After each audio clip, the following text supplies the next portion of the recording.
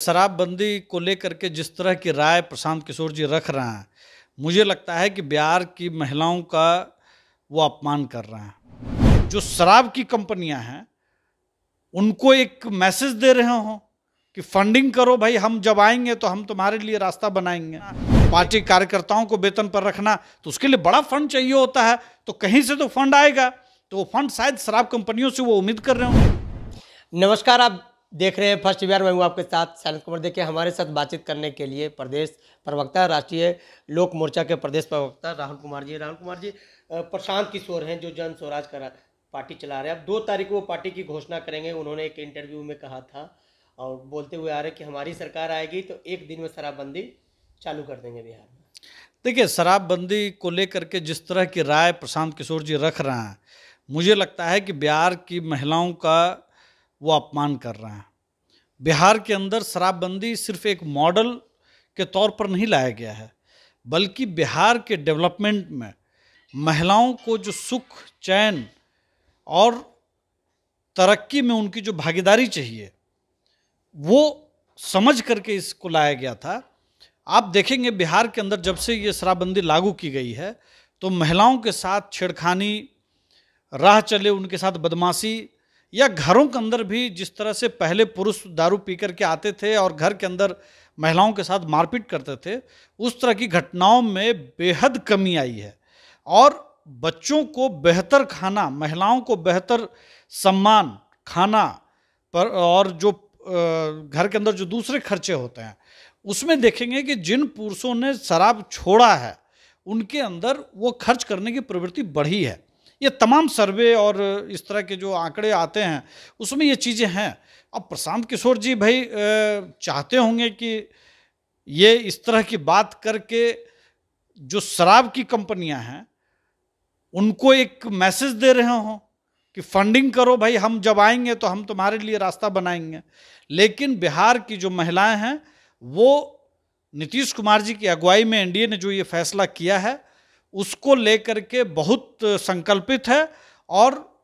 उन्होंने कहते हुए एक लाइन और कहा कि कोई कितना भी विरोध करे, मुझे इससे फ़र्क नहीं पड़ता है। इसका मतलब है कि जो सबसे ज़्यादा इस चीज़ का जो विरोध है, चाहे हमारे घर की महिलाएँ हों, आपके घर की महिलाएँ हों, या बिहार की आवाम की जो भी महिलाएँ हैं,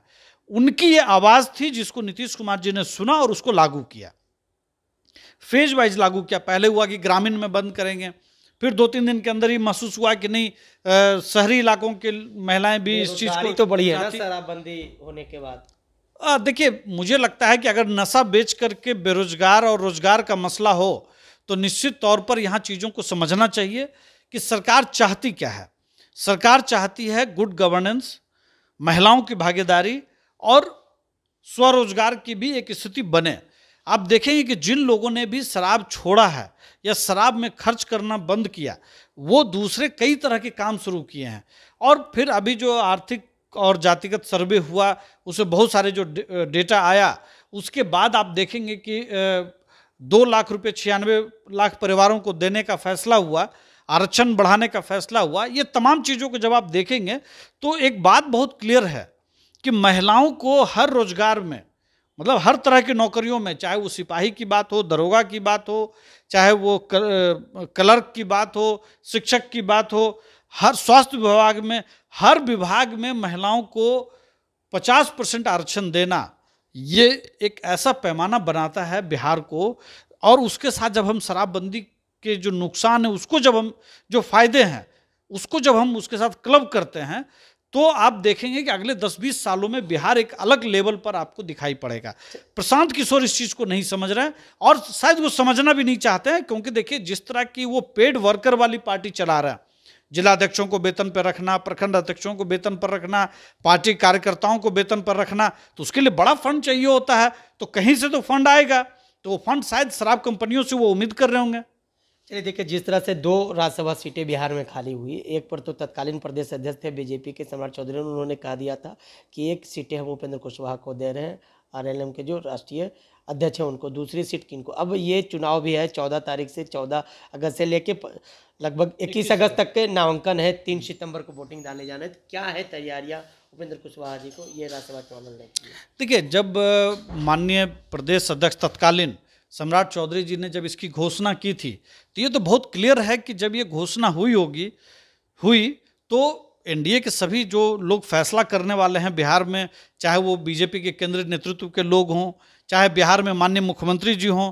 या जो भी और व्यक्ति बिहार के अंदर एनडीए का फैसला करते हैं तो ज़ाहिर सी बात है कि उन सब की सहमति रही होगी, तभी सम्राट चौधरी जी ने इसकी घोषणा की है। अब रही बात दूसरी सीट की तो दूसरी सीट पर जदयू और बीजेपी में आपसी सहमति से कोई सीट तय हुआ होगा कि किन को करना आने वाले दिनों में वो नाम भी आ जाएँगे और नॉमिनेशन भी हो जाएगा। रही बात आज मैं कई पोर्टल्स में मैं देख रहा हूँ। मुझे लगता है कि इस तरह की खबरों से बचना चाहिए और बिहार के अंदर माननीय नीतीश कुमार जी को या उनकी सहमति के बगैर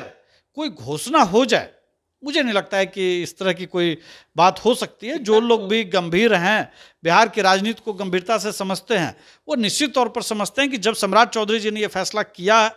तो निश्चित तौर पर बीजेपी के केंद्रीय नेतृत्व और माननीय मुख्यमंत्री जी की सहमति रही होगी तभी ये घोषणा हुई है। देखिए राज्यसभा के दो सीटें एक का जो विवेक ठाकुर का सीट खाली हुआ वो दो साल का कार्यकाल है। मीशा भारती का जो सीट खाली हुआ वो चार साल का कार्यकाल है। आखिर आपको जो जो सीटें मिल रही है उपेंद्र कुशवाहा को वो विवेक ठाकुर वाली सीटें मिल रही है दो साल के कार्यकाल के लिए। देखिए विवेक ठाकुर जी वाली सीट मिल रही है या मीशा भारती जी वाली सीट मिल रही है अभी तो ये कहीं प्रचारित नहीं हुआ है या कहीं कोई घोषणा तो हुई नहीं है। तो देखिए, मैं बार बार यही बात मैं कह रहा हूँ कि कैंडिडेट में उपेंद्र कुशवाहा जी की घोषणा हो गई, ठीक है? अब दूसरे उम्मीदवार की घोषणा हो जाएगी और जिस दिन वो नाम औपचारिक तौर पर एनडीए तय कर देगा और उसके बाद जब वो आएगा तो उसी नोटिफिकेशन में जो भी पार्टी जो जारी करेगी दिनांक और पत्रांक और उसके साथ, उसी में वो लिखा होगा कि ये चार साल के लिए, ये दो साल के लिए। तो मुझे लगता है कि बहुत हड़बड़ी में कोई बात कहना कि दो साल के लिए हो रहा और चार साल के देखिए, इस धींगा मुस्ती में हम नहीं हैं।